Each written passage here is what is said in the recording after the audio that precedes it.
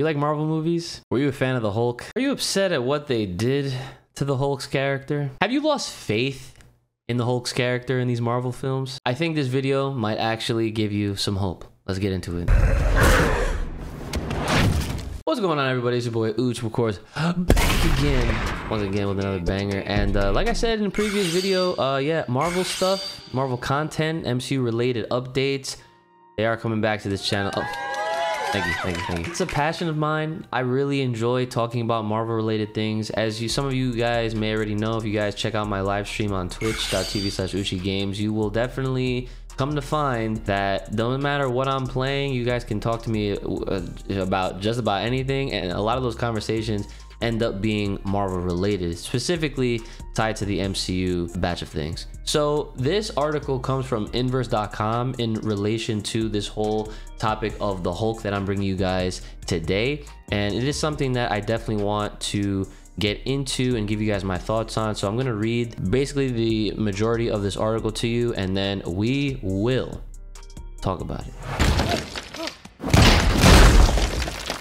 Puny God. It's becoming increasingly clear that Marvel Studios has big plans for the Hulk. Bruce Banner, Mark Ruffalo, is set to play a major role in the upcoming Disney Plus series She-Hulk, which will introduce the character's similarly superpowered cousin, Jennifer Walters, played by Tatiana Maslany. On its own, the mere existence of She-Hulk indicates that Marvel is planning on expanding its Hulk storylines. But She-Hulk isn't the only Hulk-centric project that Marvel Studios is said to be developing right now.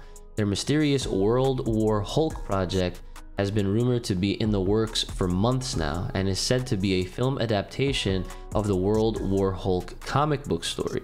While Marvel has yet to confirm the project, the rumors have nonetheless captured the attention of comic book readers. Now, this next big batch of, you know, material that we're going to be talking about uh, please take with a humongous pinch of salt and they actually say uh, they use the, the, the phrase take with a mine of salt like a salt mine. That's it's kind of funny. Yeah, let's uh, get back into it. So in a recent 4chan post, an anonymous user posted a number of alleged details about Marvel's still unconfirmed World War Hulk adaptation. According to the user, the project will split the World War Hulk story into two movies, with the first following Ruffalo's Bruce Banner as he journeys into space to find his son Scar. The adaptation's second half will allegedly feature appearances from multiple MCU heroes who come together to decide whether they should kill an out of control Banner before he causes too much destruction. The second film's MCU heroes will apparently include She-Hulk, Captain Marvel, Anthony Mackie's Captain America, Doctor Strange, Hawkeye, War Machine, Yelena Belova, Sersi, Black Knight, and several others. Additionally, the 4chan user claims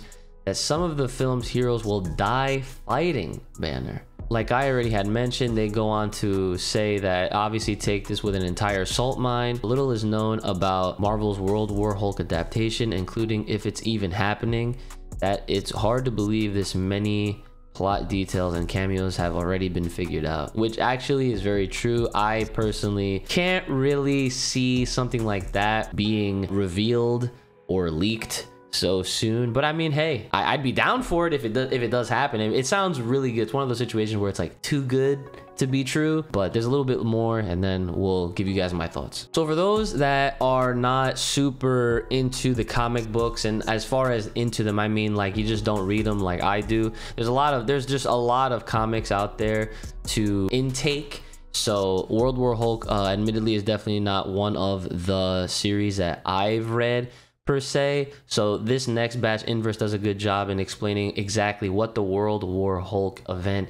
actually is. In the comics, World War Hulk takes place after the events of Planet Hulk, which sees the Illuminati, funny enough, we actually got a tease of the Illuminati in the latest Multiverse of Madness trailer, forcibly send Bruce Banner into the far reaches of outer space. After arriving on Sakaar and becoming the planet's ruler, Hulk's life is thrown into turmoil when the ship the Illuminati sent him away with explodes and kills his pregnant wife. Enraged, World War Hulk follows Banner as he leads a team of his devoted Sakaar followers back to Earth to get revenge against the heroes that banished him. The rest of the story revolves around Hulk fighting some of Earth's mightiest heroes, including Iron Man, Doctor Strange, Ghost Rider, and the Fantastic Four. He manages to defeat all of them and turns Madison Square Garden into a gladiatorial arena where he forces those who betrayed him to fight each other to the death. In typical comic book fashion, things don't go quite as bad as they could, and the Hulk's quest to destroy New York City never comes to fruition. However, the story does end with the introduction of his son Scar. Obviously, there's a lot in the World War Hulk story that hasn't been set up in the MCU yet. None of the Earth's heroes, for instance, have any reason to want to banish Bruce Banner into space, and Bruce has no reason to lose control and set out on a quest for vengeance. However, with She-Hulk debuting this year, there's certainly the chance that the Disney Plus series could help set up a story that's at least somewhat similar to World War Hulk. And there's certainly enough that happens in World War Hulk to justify an adaptation being split into two parts, although whether Marvel actually plans on doing that is unclear. So with all that being said, obviously just by getting the gist of what happens in the comic book event, I'll definitely tell you right now, I 100% would love to go actually read this and give you guys my thoughts on what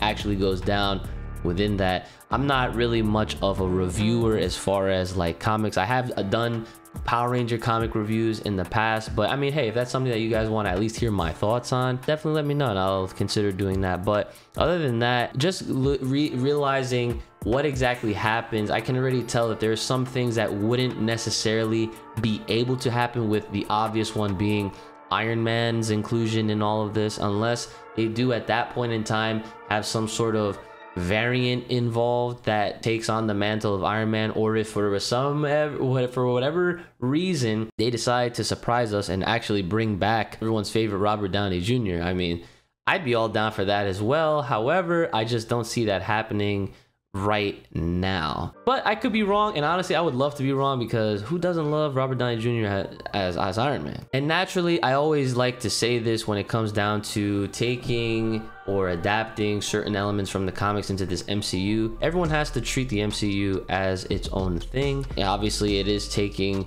elements from what's already been written and out there in the comic book universe, but that's what makes this so much more exciting is that we are getting versions of what has already happened. These are things to reference to look forward to, to seeing certain things happen over here in the MCU realm of things. But when those things happen, usually they never fail to meet any kind of you know expectation in my opinion at least. I can tell you this i already know that civil war was completely different just to give you guys an example from what originally happens in the comic books. But to say the least considering that they they decided to take the title of civil war and essentially make that captain america 3 that was almost like a mini avengers film just taking into consideration what happened in that film. But overall, I really do think that seeing a World War Hulk movie, especially if it's two parts, actually take place would be fantastic. It'd be amazing, superb, marvelous. It'd be all of those things and more. And I know that I'm not just speaking for myself, but I'm speaking for a lot of Hulk diehard fans that have been very upset with how they have treated Bruce Banner in this MCU. And I think that giving him some sort of a setup tie-in movie along the line for phase four of you know all these MCU projects would definitely remedy the the growing pains that have been shared across the board with a lot of other Marvel uh, fans, especially for the Hulk fans. Because I will say, as much as I've been loving just about everything that they've been putting out there, I will admit that Hulk definitely got shit on and he needs to get way more respect on his name. So that's enough out of me. Let me know what you guys thought about these potential rumors. Again please take them with a huge pinch of salt or like inverse said a salt mine if you will because none of this could be happening but i definitely think the conversation is